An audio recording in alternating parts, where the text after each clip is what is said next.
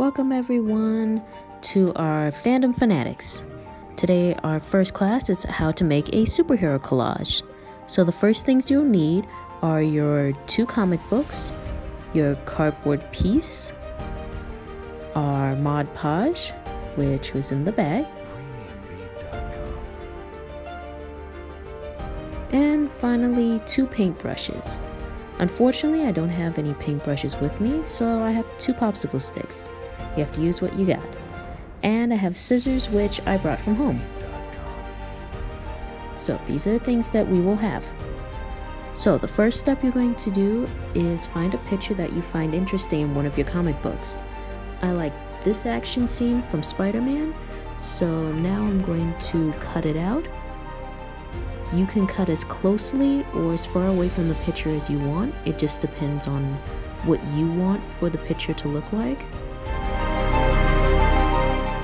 Once we're finished, we should have all our pieces cut out and laid out on our table.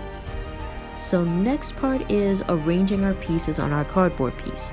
You want to do this first so that you don't end up having to change your mind once you put the Mod Podge down because the Mod Podge works like glue. So once it's down, it'll be difficult to bring take up your picture.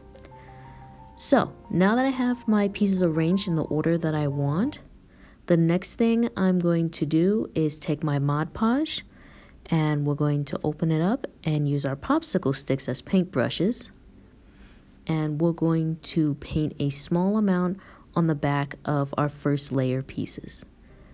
So as you can see, I'm going over with a small amount. And it's very thin because Mod Podge is, does spread evenly and it's very watered down compared to glue. So you really only need a little bit. So again, like I said, I am doing the first layer of my picture so these two pictures are going to be in the background of my main picture. So we get the Spider-Man down. Let's put a little bit more Mod Podge. Even it out a little bit. And there we go. So next is our main picture, which I'm going to place on top because it is going to be in the foreground of my Mod Podge collage. So again, going to put a little bit of Mod Podge down. Spread it a little evenly across the paper. And then I'm going to just set it down right there on the cardboard piece. On, and on top of my other two cardboard pieces. And as you can see, I'm evening it out so it lays flat. And I'm going to continue doing that until I reach my last picture, which I'm doing right there. and that goes right on top of my main piece, just to give it a little bit of depth.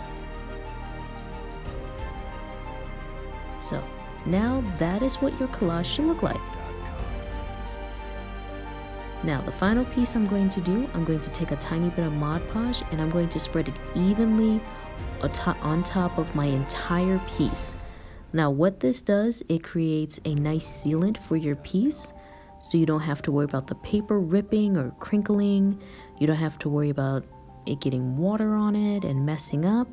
With the Mod Podge, once you put a thin layer on, it protects the piece. And now we're done.